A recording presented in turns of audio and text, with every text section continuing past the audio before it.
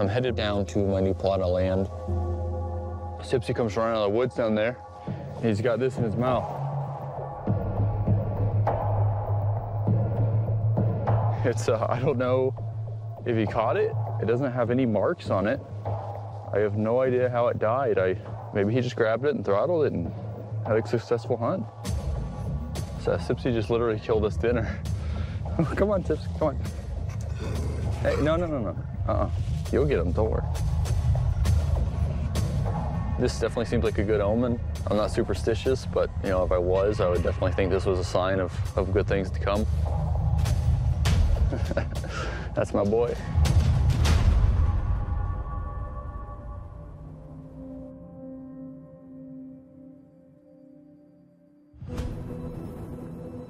Come on, Tipsy, time to go. My new land is, is located uh, quite a bit closer to an area where I know I can hunt beavers.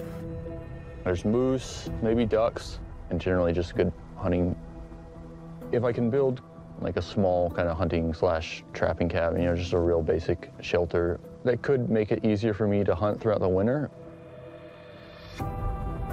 Alex Javor's main hunting grounds are two hours from his A-frame cabin by foot, a dangerous journey in the harsh Alaskan winters. In order to protect himself from being stranded along the way, Alex plans to build a safe haven shelter halfway from his cabin to the hunting grounds. This is kind of what I'm looking for. Yeah. I guess you just might call it artistic or something. I like to kind of like put it where like kind of where the land wants it anyway. You know, so we have like this kind of this natural clearing. You come in here, clear out some of these trees, kind of clear the area out a little bit, and use those same trees to build uh, kind of just like a really simple um, shelter, basically. Something, just something I can build a fire in, maybe put a small camp stove in. I'm gonna get back. Tomorrow's gonna be a, a long day, uh, a lot of hard work.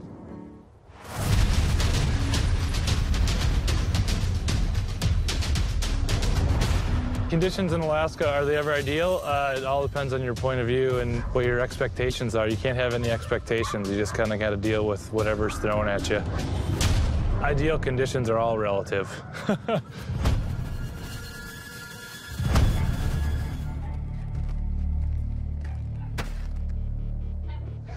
this is generally where I have my firewood, and uh, as you can see, there's not a lot happening. It's a pretty sad firewood stash. It's 20 degrees out, and winter has come, and there's no firewood put away, so it means we go cut firewood. Firewood is key mainly because that's how we heat two of our buildings. And then on top of that, and probably the most important thing is we cook uh, fish every day for the dogs and we use wood to boil the fish. It's an essential thing for just feeding the dogs. We have a lot of cutting ahead of us. It's a beautiful day, so we're gonna take advantage of that. It's just gotta be done. Gotta make it a top priority starting now. See if we can find some firewood. All right, well, this is the trail that goes up. So Ida's still visiting family in Sweden, so I'm out here by myself. Definitely missing a piece of the puzzle. Ida takes care of a lot of stuff around here and makes my life a lot easier, so I'm definitely missing her. But I have to work. This is the killing fields right here. This is where all the trees are, laying down on the ground.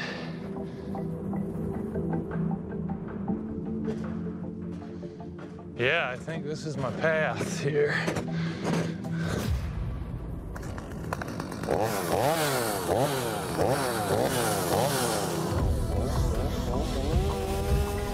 The lifestyle here is basically nonstop. Even though I work way more than the average person does in civilization, it's totally worth it to me. Out here, you just figure out a way to do it. And I think that's what really draws me to this lifestyle. You don't call anybody, you don't ask for help, you just get it done. There's no give up out here. I think that's the general trail. Looks decent enough. we'll do a little trial run with the machine without a load and we'll uh, give it a go here. I'm gonna really have to regulate how big a loads that I can take.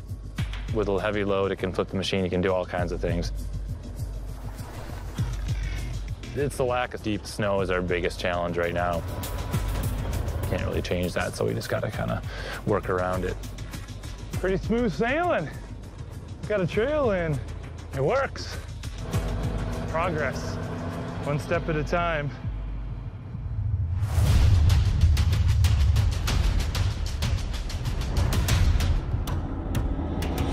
It's almost better than taking them to school, learning real life application lessons that they can carry into adulthood.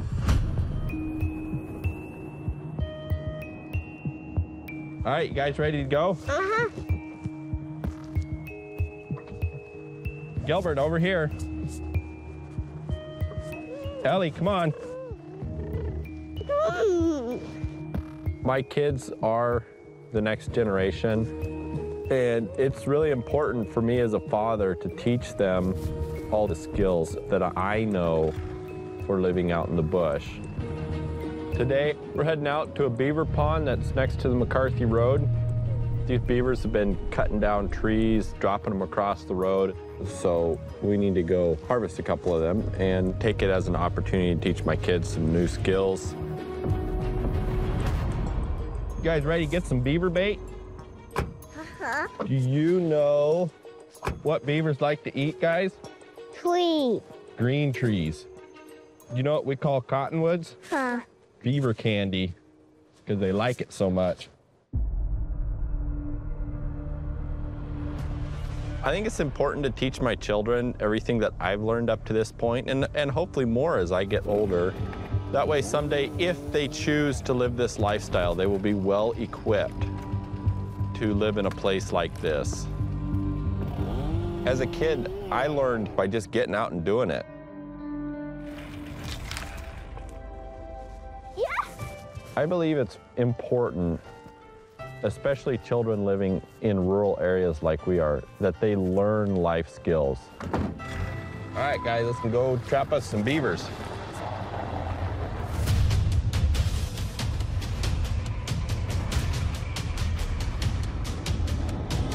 You jump on a snow machine, and those things will fail you time and time again. It's soulless. You jump on an old-fashioned freight sled with a bunch of Malamutes that look like a picture from 100 years ago in Alaska. That's got soul.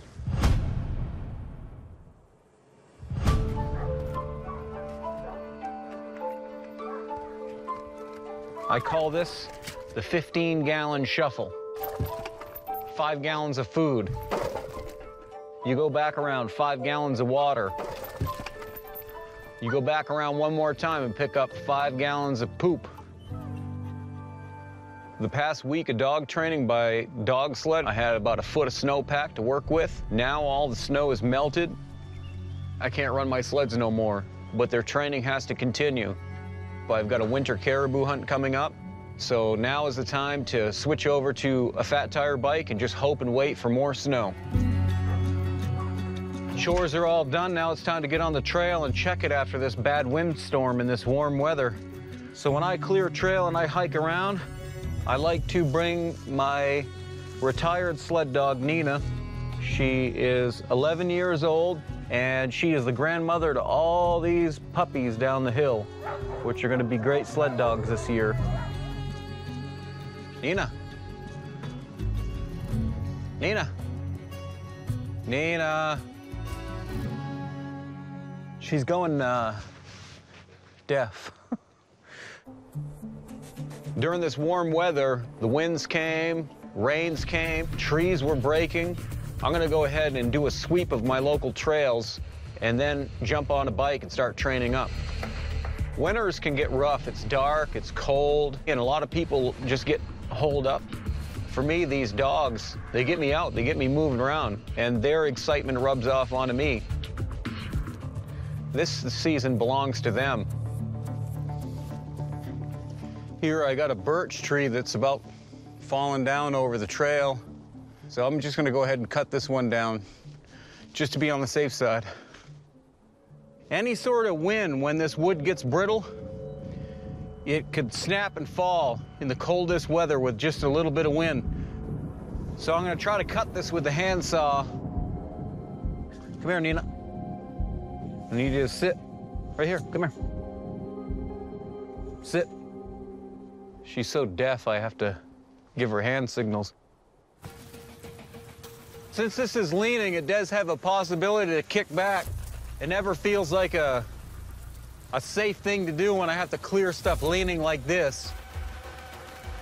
But I might as well get to work, because it's gonna be a while.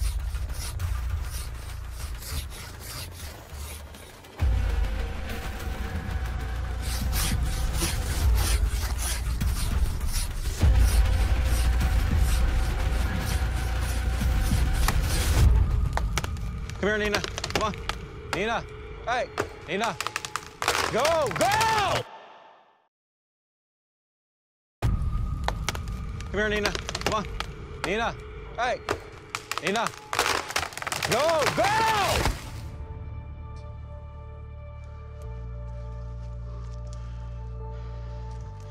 Nina, you're grounded. No video games. That thing fell quick. It was leaning so strong. I only got about halfway in before it, it snapped. And it's a likely deal that this would have fell over the trail sometime. And I don't want it to fall on the trail when I'm on it. It's good doing this physical labor with hand tools. I don't even use a internal combustion for really anything. When you get out here, it's a little harsh at first splitting wood by hand, hauling water by hand, running a dog team instead of running a snowmobile. It's a game for me to not spend money on your things that you want me to buy. That's the game for me.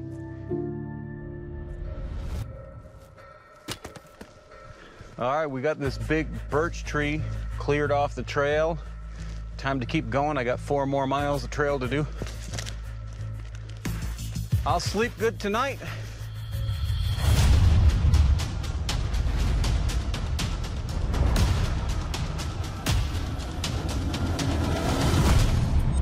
What's it like being a father, bringing your two kids out and teaching them some new lessons?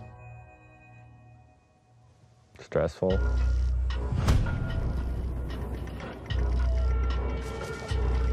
All right, guys, let's go.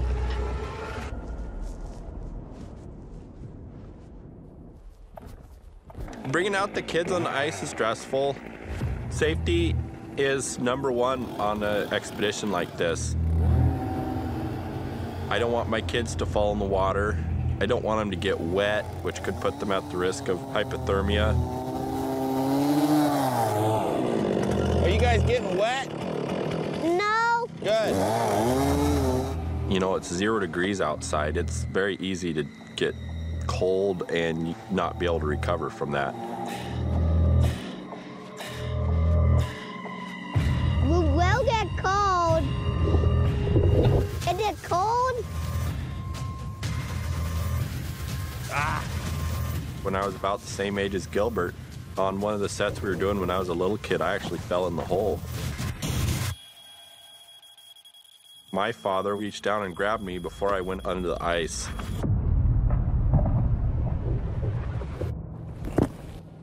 And so I've always been really careful since then not to be too close to the edge of the water there.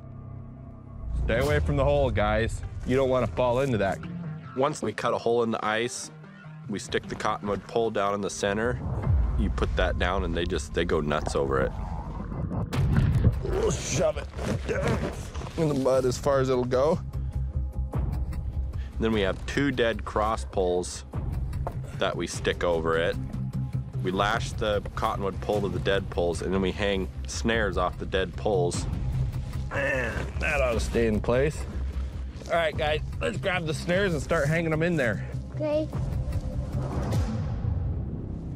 Oh, got killed. I bottle up. Oh, hey, we snared a dog. we got you, Piper. Okay, that was really loud and screechy. Well, that was pretty funny. Uh-huh. I'm hoping that all of these little skills that I teach them will set them up for a great future if someday they choose to live out in the bush. Step on me, Dad. Step on me, Dad. It's entirely their choice, but it really is a pretty good life out in the woods.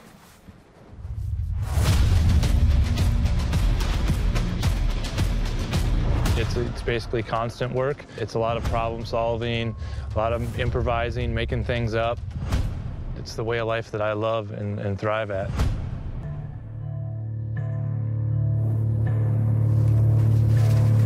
Okay, so yeah, this is the stuff.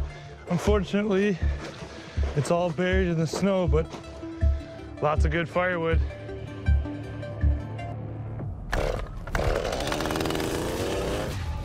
A super heavy load going down that trail would not be a very good idea, mainly just because we don't have enough snow.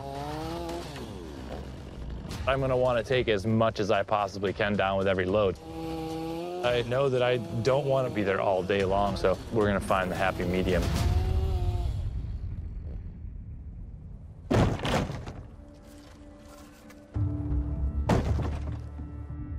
If you hurt yourself out here, you're a long ways from help. If you've cut your finger off, you're probably not going to have that finger anymore. It's, it's just the way it is out here. Well, so much for a conservative load, but it's worth a shot. Worst thing is that it overtakes the snow machine and flips over.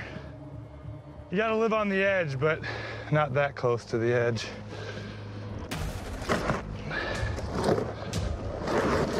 I think we'll be okay. Famous last words.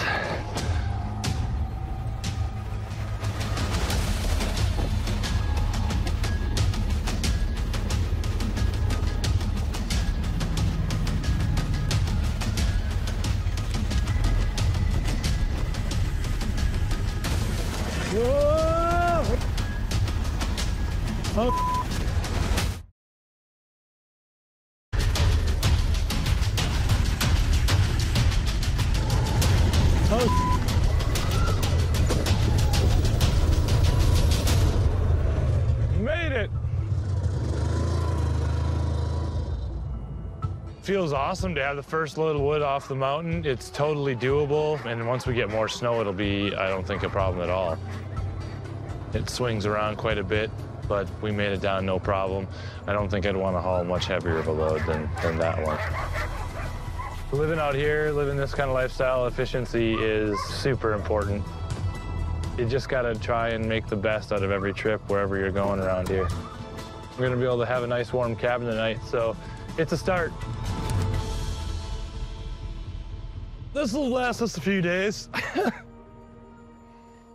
we'll get a few more loads so this pile will grow, and then it'll shrink. and then it'll grow again, hopefully. More firewood to get.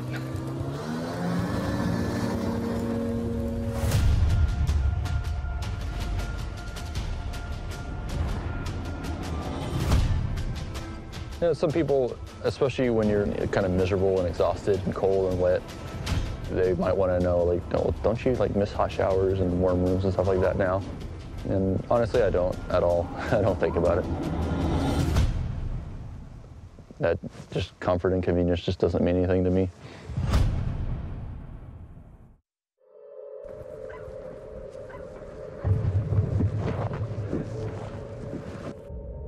After finding a suitable location, Alex must now harvest enough viable trees to build his hunting shelter. But with daylight and temperatures quickly fading, it's imperative that Alex use every hour wisely in order to get his cabin built before it's too late. This is going to be a good amount of work.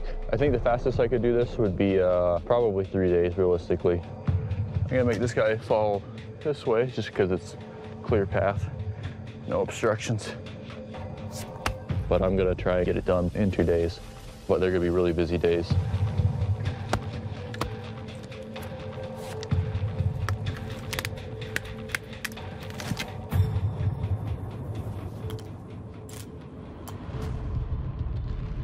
So I should have everything I need in here. My goal is to get about 36 good logs for the walls, and then I can use pretty much any Dinky little ones for the roof. Log like this might be fine for the for the wall. Definitely be good for the roof. One of the big challenges I'm facing when I do this work is it's pretty warm, which you think would be nice, but uh, it means all the snow, it falls on me and then it melts, and then I get really wet. So then if I need to stop and take a break because I'm getting tired, uh, I get really cold pretty quickly. You know, within an hour, you could have hypothermia. So the only thing to do is keep working, keep going. It's not good to push too far into being exhausted when you're doing dangerous work like this. Uh, pushing to the point where my hands are gonna slip, I'm gonna you know, slice myself with my own axe. Still got a long, long ways to go. I don't know if I'll be able to cut 36 down today. We'll see, but I'll just keep working. It's really easy to become lazy, especially in modern life. Everything's designed for our convenience. Every time we increase technology to benefit our convenience, we kind of get a little more disconnected from the earth. Just by going back 50 years and cutting my wood with a saw and an axe. Ooh, it's heavy. That just gives me a lot more appreciation for modern lifestyle and just though it's a little bit uncomfortable, you know, it's, it's work. But I feel like keeps you from getting lazy or taking things for granted.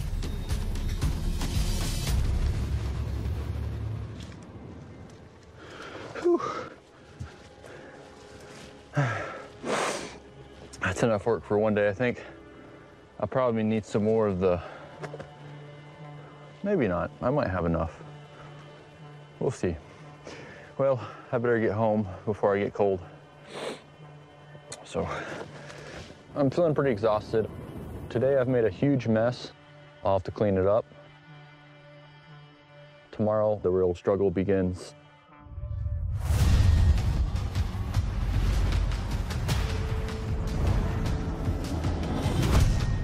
Hunting with a team of Alaskan Malamutes, it's just priceless. Uh, I couldn't picture my life now without hunting caribou by dog team.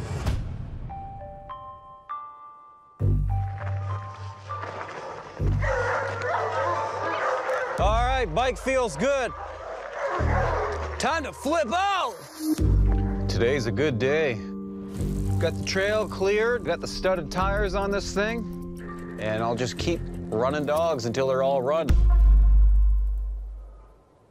All right, I'm gonna start with the two rudest, biggest, strongest jerks in the lot. The wheel dogs, the ones that don't listen well, Snoop and Kyron. I gotta get out of here in one piece. My last run with Snoop and Kyron, they were so excited and they were so amped up. They slammed me down onto the ground. They ripped the chain off the bike. Being three or four times the size of a race dog, if they slam their harnesses when I least expect it, I'm going flying off a sled. It's rough running dogs, but it humbles you too. You gotta get a good hold on that boy.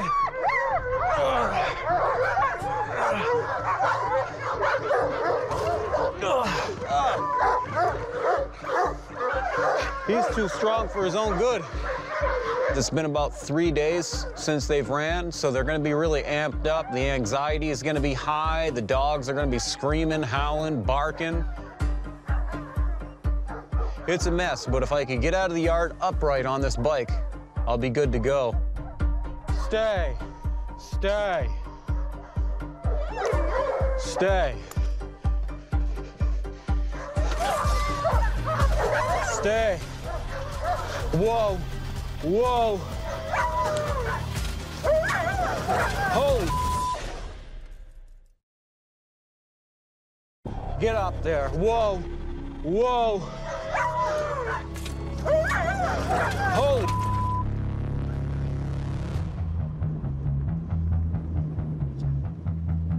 Good boys.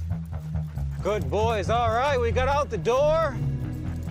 My knee is sore, but I'll be all right. These sled dogs, these Alaskan Malamutes, there's something about traveling with these dogs that seems more real to me than the automobile and the asphalt road. All right, the dog's gates look good. We're going at about a seven mile an hour pace. They're both in unison. They're not running too hard. They're not lunging. They're just hoofing it.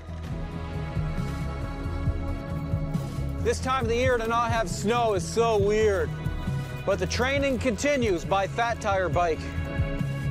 Human power, dog power, Manzo Malamutes. A little bike ride in the birch forest.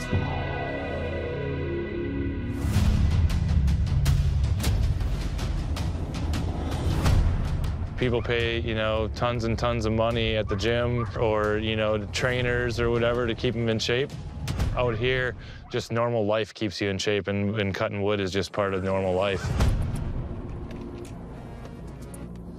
Yeah, beautiful day, nice and chilly. Time to buck up some wood. Well, here is a big sack of firewood, lots of dog food, and warm temperatures. But we have to deal with whatever comes at us, and, and wealth is, is definitely, it's another relative term. You have to be able to, to take the punches and get back up and keep going forward. Technology allows us to do all the things that we have to do in a more efficient way, but it's definitely a good workout. Splitting wood. If I make it to my mid 70s here, I'll be a happy man.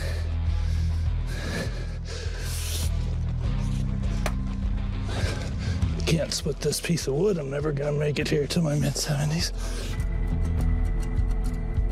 Just the whole purpose of cutting firewood is gonna warm you four or five times before you actually get it to the wood stove. It's definitely therapeutic at times. I'm kind of checked out away from normal society and normal everyday nine to five life. Not knowing what the next challenge we're gonna have to overcome and what the next thing is gonna be. The uncertainty of this life, I think, is what I enjoy most about it.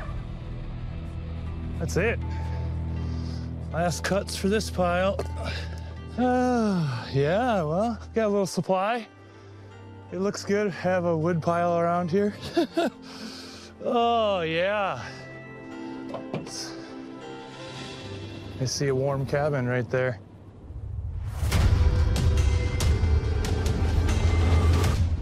I've always enjoyed being outside from the time I was a little kid. And so it's great seeing my kids learning to enjoy the outdoors and the cold and the snow and just everything about being out in the fresh, clean air. Who's excited that we get to check beaver sets on Ellie's fourth birthday? Me. That's pretty cool, isn't it? It's kind of a special day because it's Ellie's birthday. It's pretty unique to be able to take my daughter out and go check beaver sets. She seems pretty jazzed about it. And I don't know very many four-year-old girls who go beaver trapping with their fathers on their birthday. Guys, I see the pole's tipped over. You know what that means? Twat the beaver. means the beaver's been chewing on it. All right, let's go check it.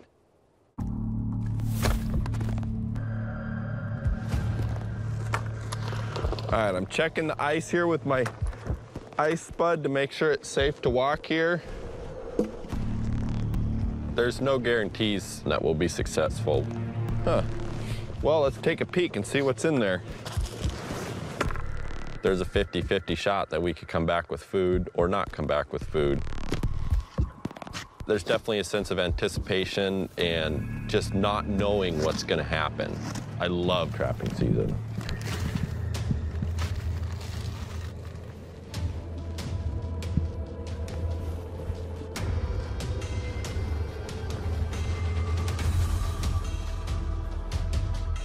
Oh, geez. Daddy, what did do? I have no idea what those are.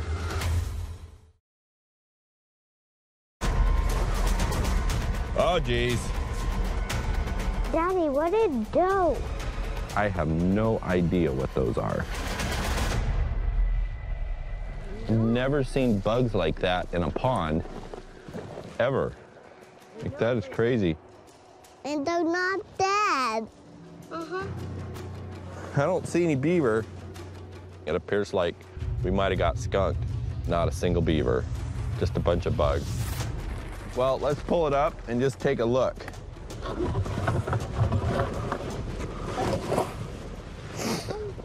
Look at that, right down at the bottom.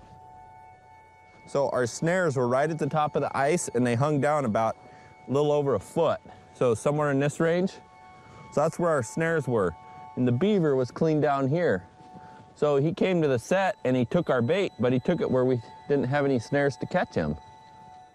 He done outsmarted us. It's a great lesson for the kids to learn that you can't necessarily be successful every single time you go into the woods. It's pretty disappointing, but just getting out with them, whether we're successful or not, is what makes this trip a success.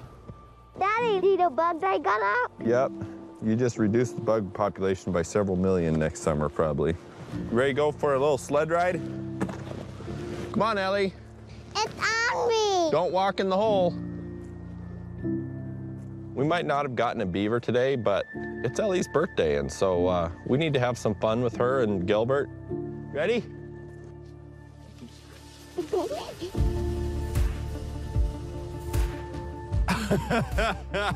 Our playground out here is limitless. We live in the middle of a 13 million acre park.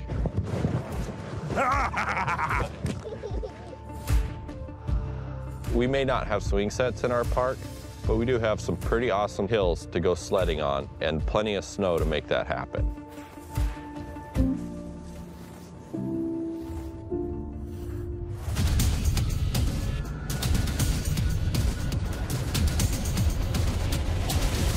It's been a, learning process for those dogs and myself, but it's in their blood.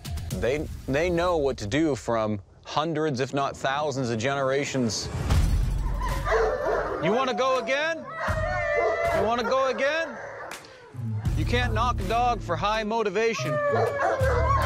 Time to finish up the final run of the day. Lead dog Mao, the little female Cleo, and one of their puppies, Red. See the guy chewing on his chain? We're gonna run that goofball over there. Let's do this. Next up is hooking up two veterans and one pup. And the pup's lucky because it's his mom and dad. So they'll be on the same brainwave, hopefully, theoretically. This is impossible to put a harness on this guy. Training puppies is probably one of the most frustrating thing ever. People think puppies are cute, and I just look at them like, oh my God, I got a lot of work ahead of me. This is actually makes for a good sled dog. The most spastic one of the bunch is also the hardest working pup. And maybe someday this guy might be a lead dog. You never know. I need you guys to teach this boy well, all right?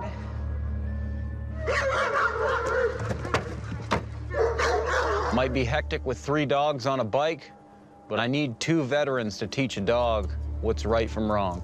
But still, puppies do all kinds of crazy stuff, so this might be a hectic run. Go get him, yeah, yeah, yeah.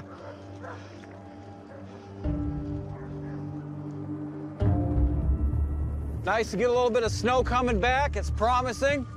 Maybe after a couple of more good storms, I'll be back on the sled. We've got about two miles in. We got to keep him moving. The more he runs, the calmer he'll get.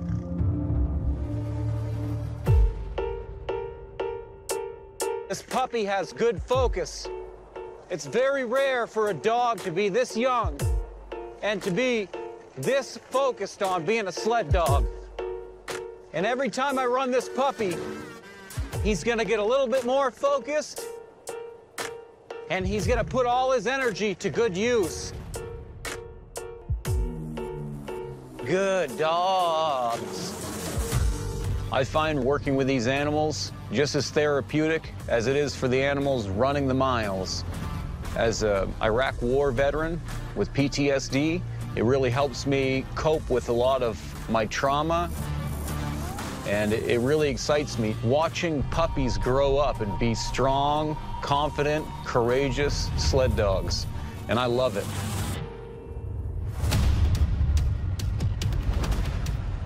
I think to live out here, you have to be pretty stubborn and bullheaded sometimes, uh, just to, just to get through, you know, tough challenges. At the same time, if you go too far, if, you, you're not able to back out into a, a wider perspective, you can get yourself in trouble that way.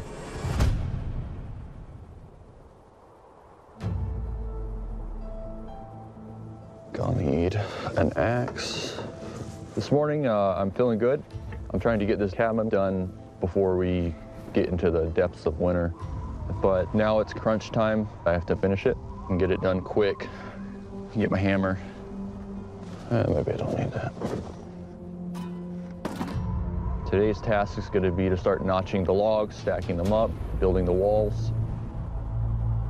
With a chainsaw and ATV, I could just blast through the work and get it done quick. And uh, if the result is your only goal, that's cool. Uh, for me, it's the journey, not the destination. I'm gonna say the stove is the kind of the back end of the cabin. So the back wall would be here, and then walls on either side. Just keep it real simple. I'm using just a really classic log cabin building technique. You can just think of it like a rectangle. A rectangle that's designed for me to crawl inside, sleep in, and stay warm. So it needs the room for me and a wood stove and a little extra room just to store some gear or something like that. This is a good technique because it doesn't require really any specialized tools. It's just built very simply by stacking up logs, uh, and then you put kind of a U-shaped notch in them so they fit over each other and nest on top of another log neatly. Let me see what that's like. Whatever, good enough for government work. I'm just gonna be eyeballing it, going real fast, even if it's not airtight. That's fine, it's just a survival shelter, really. Hopefully can finish up. My joints hurt. I have no strength in my arms. Uh, gripping the axe feels unsafe. You know, it feels like I, I could drop it. I'm just exhausted.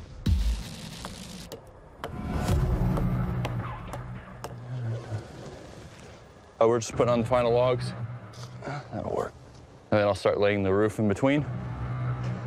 Uh, before I do the roof, though, I gotta frame in the door, cut that out. Yeah, I am pretty pretty exhausted. Uh, yeah, we're getting there, just about there.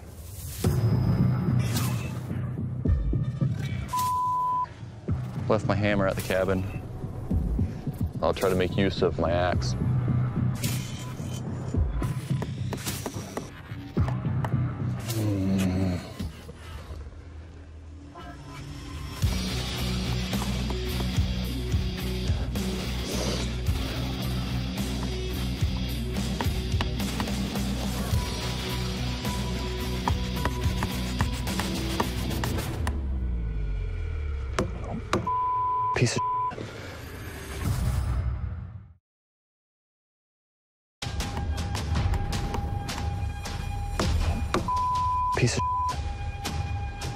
Oh, I gotta get the hammer. I can't do it like this. I can't drop 500 nails like that. That'll take a year. Um, left my hammer at the cabin. Trying to hammer nails with an axe is uh, exercise in frustration.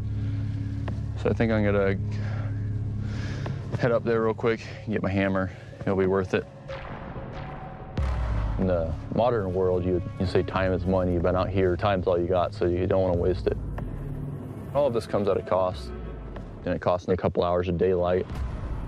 There's never, never enough this time of year, but I'll try to make use of, of every hour I got left.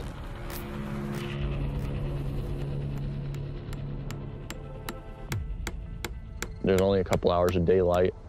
Uh, I don't prefer to work in the dark, so I'm gonna get straight to it and work fast and furious and try to get as much work done as I can uh, before it gets dark.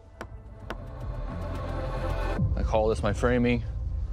Um, just hammer it in to hold these guys.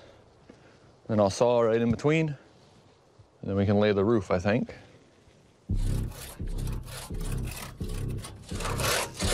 If you don't got patience, you're gonna get it. Because this is gonna take a while.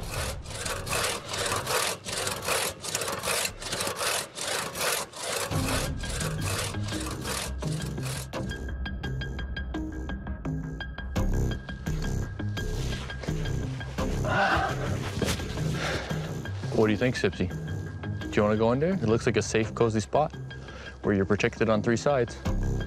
Kind of like a den. He's making a. There you go. If Sipsy approves, I'm happy. That's the only one that matters.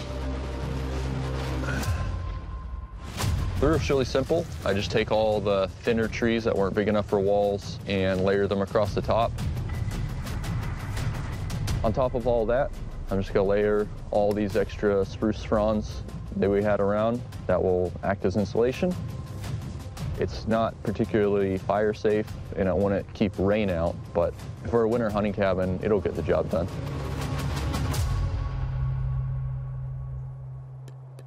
I finished the cabin. Mostly I feel relief that the work's done, but I also am excited to uh, test it out, you know, kind of like a new toy, and uh, see if it burns down immediately.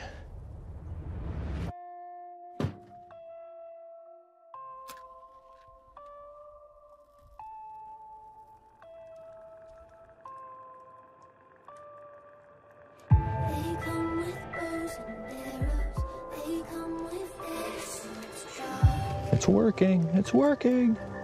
It's just, I- I'm actually really looking forward to going hunting because I could definitely use the meat. Coming back and spend the night out here. It's gonna be, it's gonna be cool.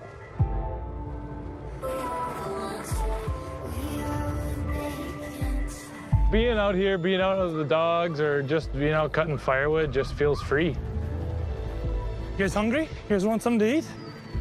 It takes a lot of work, but it's all worth it because of that feeling of, of freedom.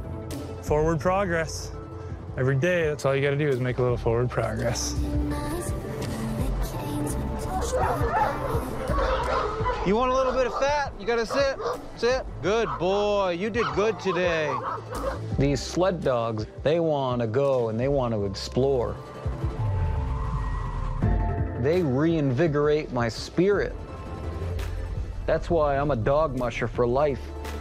Until I'm an old man and my body can't move anymore, I'll be a dog musher until the end. Life for the Rolands out here in the middle of the wilderness is just beginning. One day at a time, one lesson at a time. Ta-da! Look what I made. I think what Caleb and I have out here is pretty special and unique. Happy birthday to And I really love that we were able to do that together and we created such a lovely place to call our home.